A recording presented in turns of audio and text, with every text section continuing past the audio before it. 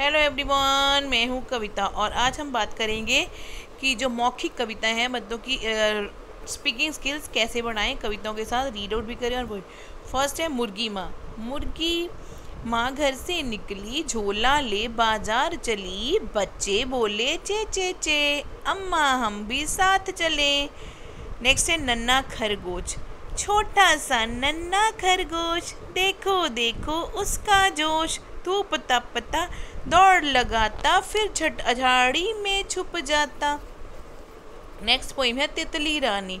तितली रानी तितली रानी, तुम हो चंचल, बड़ी सयानी। डाल डाल पे झूमती हो, फूल फूल को चूमती हो।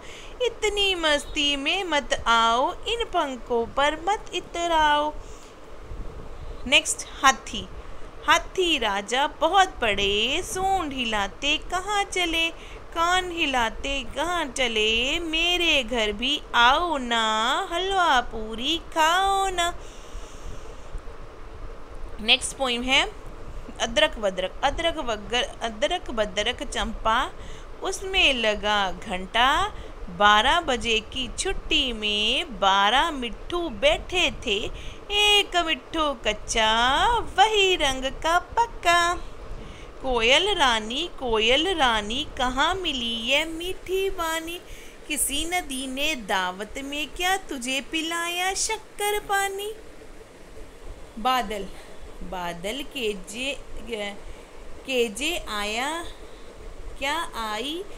सबकी करने चला सफ़ाई दो लिए, धो दिए पेड़, धो दी घास धो दिया सब कुछ आस पा और आस और पास।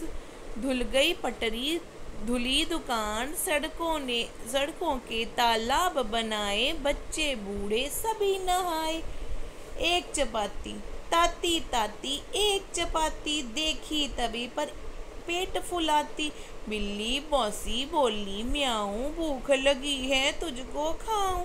सुनकर उछली चूर दूर चपाती बोली, फिर आँखें मटकाती, मौसी पहले मक्खन ला, फिर चाहे मुझको खा जा।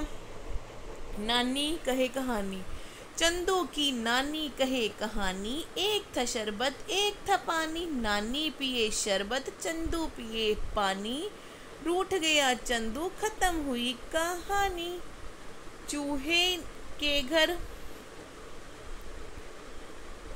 न्योता है, देखो क्या क्या होता है। चिड़िया चावल लाएगी बिल्ली खीर पकाएगी, बंदर पान बनाएगा, शेर मामा खाएगा। मुन्ना, तू क्यों रोता है? तेरा भी तो न्योता है। मनीराम इतने इतने से मनी राम इतनी लंबी पूंछ, सटक चले मनी राम मटक चली पूछ। जितने बड़े मनी राम उसने उतनी उनसे बड़ी पूंछ। लटक चले मनी राम चटक चली पूंछ। टब और भालू। टब में छिपने आया भालू, किंतु नहीं छिप पाया भालू। टब छोटा था, बोलू तो मोटा, राजू बहुत अधिक था खोटा।